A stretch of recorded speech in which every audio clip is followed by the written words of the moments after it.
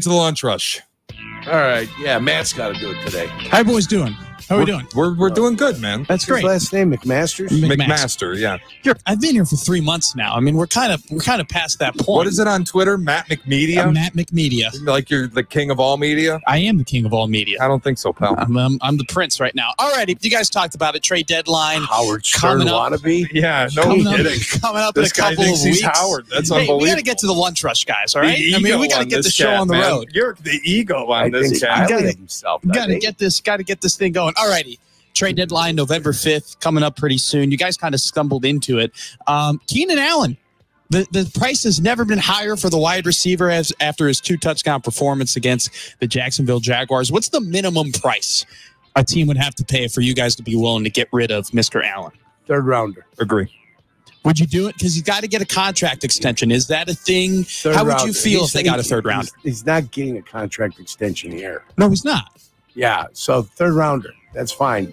If they can move him for a third rounder, I want the third rounder. You have to be able to meet what the comp pick return would be if you let him walk in free agency. Mm-hmm. So it's got to be at least a third rounder. And if somebody desperate gets on the phone and offers me a late second round pick, I will drive Keenan Allen to the airport. There you go. Uh, New York Post headline Ton of Steelers don't agree with benching of Justin Fields for Russell Wilson. Albert Breer went on the Rich Eisen show yesterday. He said there are a lot of folks in that facility who do not want Mike Tomlin to go away from Justin Fields right now. Currently, the decision has been made by Tomlin, reportedly, but it's been in house. It's not out in the public yet. Yeah, I think the decision is they're going to start Russell Wilson. They had him in full practice all week with the ones, and people can mutiny if they want, but I think it's really quite fascinating that just look, you're four and two. Of course, the locker room doesn't want the team to change. Things are going reasonably well right now, but it is wild that Justin Fields was the focal point that is getting people to turn on Mike Tomlin. I never thought Steelers fans would pivot this hard on Mike Tomlin, but now because of Justin Fields' love, they are. He's not good. He's he's a fine quarterback. He he can keep you in a game when everything's going perfectly. If things go sideways at all, and you need your quarterback to overcome, you're going to lose.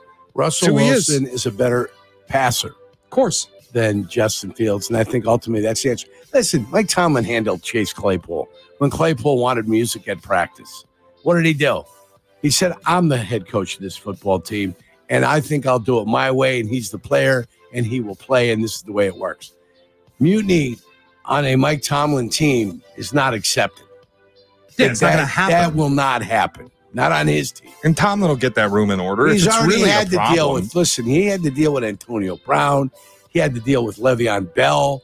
He had to deal with a whole slew of things. He had to with the who's the talent linebacker that ended up getting hurt? Frazier, Frazier, Ryan, something Oh, or Ryan another. Shazier. Ryan Shazier. Yeah. Thank you. They The had to Ohio deal State with, they, had, they had to deal with you know that the port. They lost the guy. Um, you know, it looked like uh, bad things were happening to him. Uh, he was telling a talented kid that was going to be there for a long time, Mm. and uh, they ended up losing him. He's been able to handle and weather the storm everywhere. And now they're dealing with George Pickens, and so far he's weathered that storm. George Pickens is like a Looney Tune. Yeah. I just I don't I don't get why people are so up in arms. It's very clear that Justin Fields is not the answer. And I think honestly, if you wanted to give truth serum to the front office, they would tell you they really don't want to give up a fourth round pick over this guy. Probably and not. if they can avoid it, they will.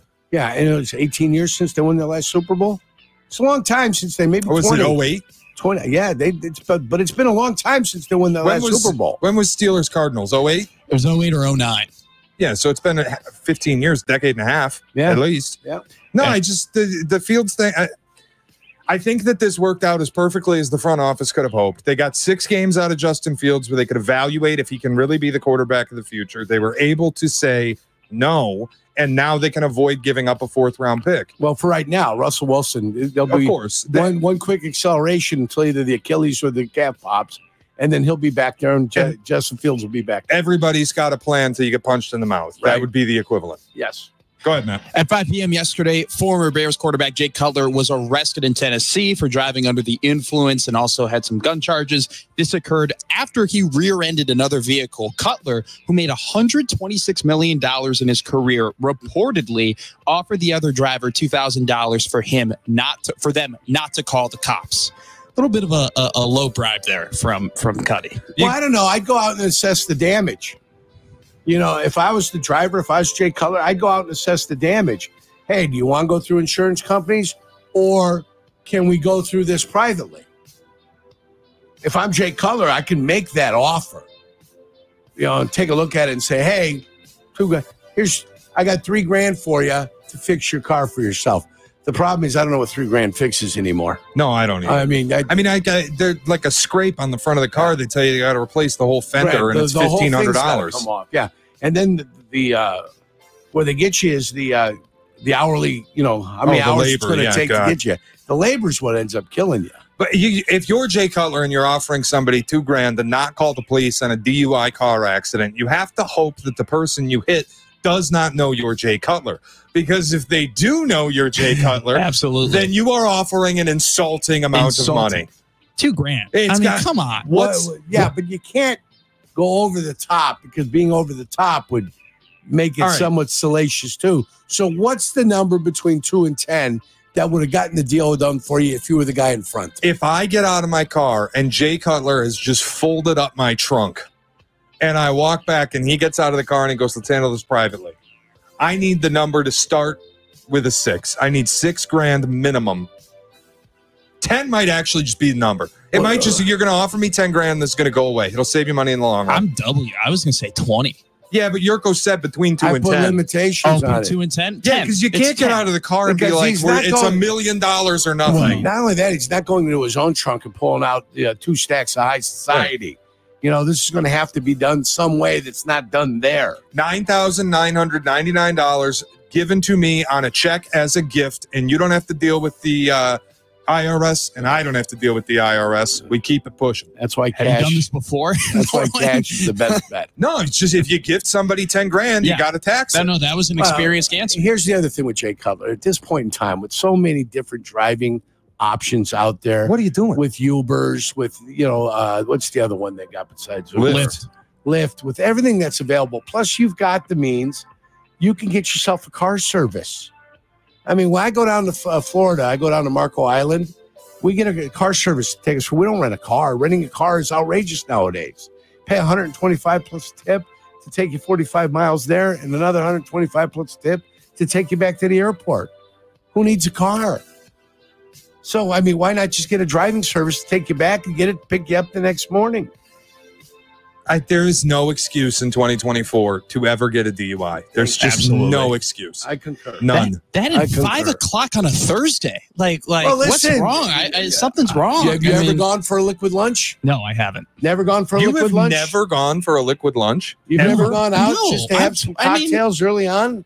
No, not that's- Ever? ever. No, I mean I have food with it if I go out and get drinks with friends, but Well, yeah, of course, you get a shrimp cocktail and a. I've never yeah, been drunk nachos. at three o'clock on a Thursday. Nachos. never in your life. no, never Did you been even drunk. go to college? I've been drunk on 11 a.m. on a Saturday or like 9 a.m. on a Friday, but I've never been drunk at five o'clock on a on a Thursday. That's crazy.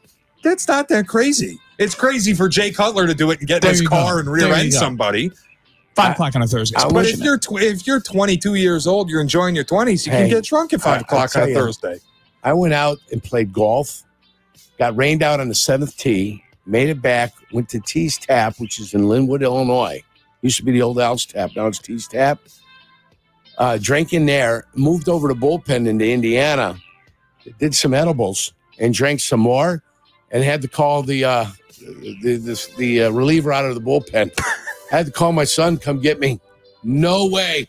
And this is 532 when he came and got me. He goes, What happened? I said, We got rained out. We started hitting it. Not a good plan. Not a good plan. I mean, we're at the pub, teed up early. We're at the pub by like 8 845, 9 o'clock.